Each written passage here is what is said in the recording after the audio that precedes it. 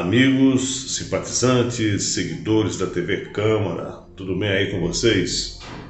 Creio que sim, tirando essa chuva terrível, volume de chuva altíssimo que atingiu a Baixada, acho que está tudo bem. Hum. Interação da atmosfera com a montanha.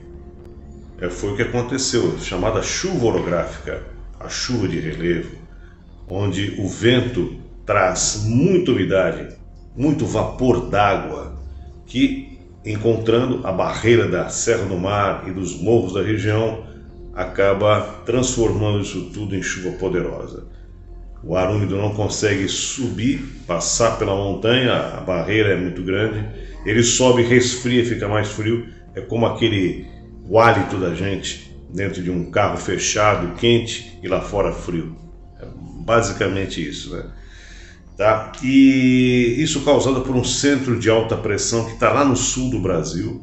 Esse centro de alta pressão é, é que moveu toda essa umidade do mar para a costa. Está aí um problema gerado.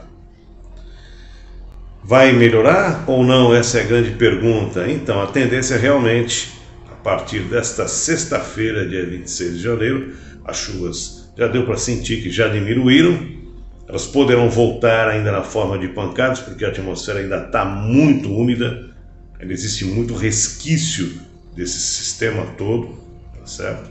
Mas chuva catastrófica, aquela não está mais prevista para esse final de semana.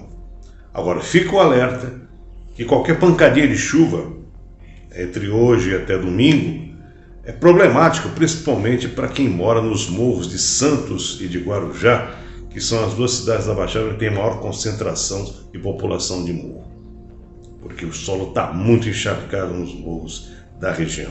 Fica o grande alerta aí.